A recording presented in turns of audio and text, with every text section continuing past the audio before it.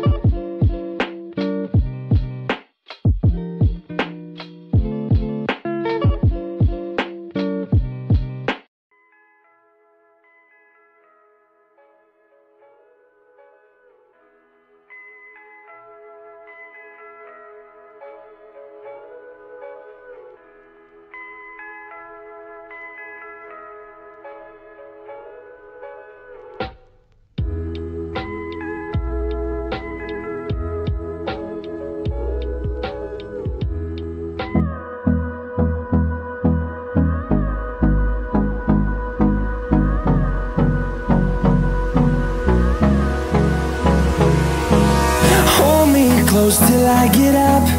Time is barely on our side. I don't wanna waste what's left. The storms we chase are leading us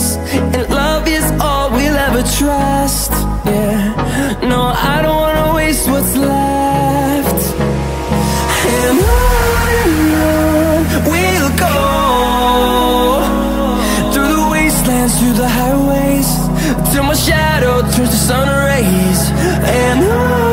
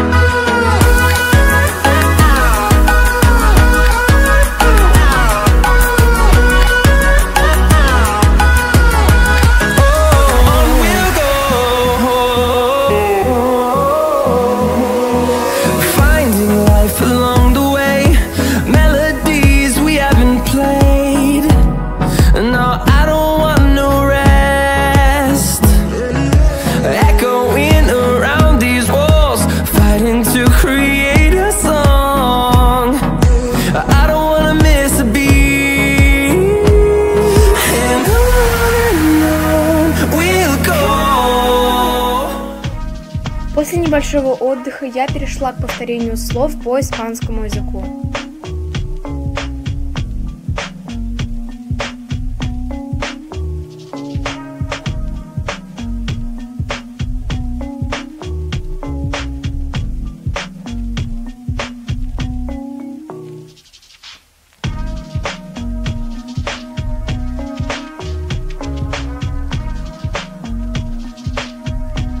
А затем я решила устроить себе небольшой диктант.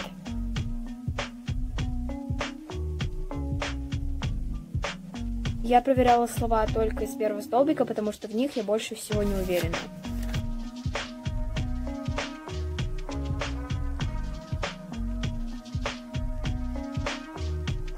Итак, сейчас мне осталось доснять видео, демонтировать его, также сделать обложку, но этим я занимаюсь обычно где-то в 7-8, а также позаниматься английским, сейчас я присыплю выполнению этого задания. Сегодня я очень хорошо позанималась английским, закончила весь четвертый урок. Больше всего мне понравилась именно эта часть, Let Us Talk, потому что тут я реально смогла выговориться. Я ответила легко на все эти вопросы и справилась с этим 24-м заданием буквально за 15 минут. Честно говоря, этот учебник, Student's Book, пятый класс, Афанасьева Верещагина, он мне просто безумно нравится. Тут есть куча текстов, диалогов, можно поговорить. Просто это реально безумно классный учебник. Тут и в одном уроке и грамматика, и новые слова объясняются на английском, что, несомненно, плюс. И да, это никакая не реклама, а просто моя личная рекомендация заниматься именно по такому учебнику, где в каждом уроке практикуются все аспекты английского языка.